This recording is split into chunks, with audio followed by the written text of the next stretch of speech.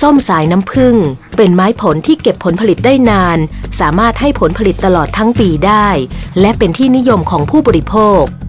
โครงข่ายประสาทเทียมเป็นรูปแบบหนึ่งของกระบวนการประมวลผลข้อมูล ที่มีแนวคิดพื้นฐานมาจาก การพยายามเรียนแบบการทำงานของระบบประสาททางชีววิทยาของมนุษย์ ดังนั้นจึงได้มีการนำโครงข่ายประสาทเทียม มาประยุกต์ใช้ในงานวิจัยต่างๆ อย่างหลากหลาย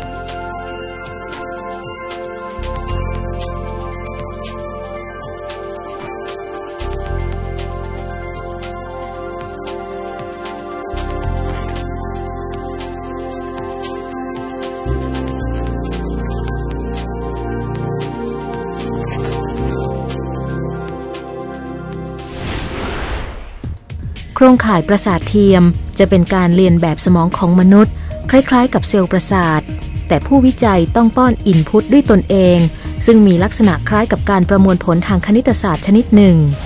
ในการทดลองนั้น นักวิจัยได้นำส้มใส่ในภาชนะ 3 รูปแบบด้วยกัน ประกอบด้วย ภาชนะแบบกล่องเปิดปิด ภาชนะแบบกล่องสวม และตะกร้าจากนั้นทำการขนส่งด้วยรถยนต์ของสวนส้มธนาธร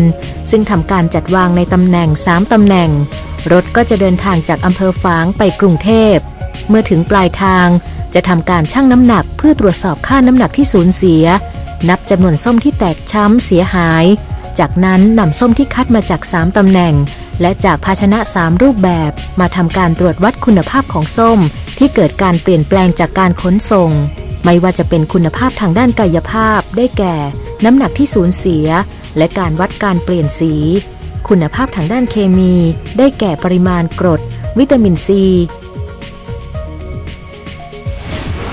แล้วนำข้อมูลเหล่านี้มาทำการพยากรณ์คุณภาพ ด้วยโครงข่ายประสาทเทียม โดยทำการเลือกอินพุตได้แก่ ตำแหน่งการวางของภาชนะ รูปแบบของภาชนะบรรจุส้ม อุณหภูมิ และความชื้นสัมผัสตามระยะทางขณะทำการขนส่ง คุณภาพทางกายภาพ และคุณภาพทางเคมี จากนั้นจะทำการตรวจสอบค่าเอาพุตที่ได้ออกมาว่ามีค่าไหนที่ตรง หรือว่าใกล้เคียงกับค่าที่ได้จริง จากการตรวจสอบในห้องปฏิบัติการ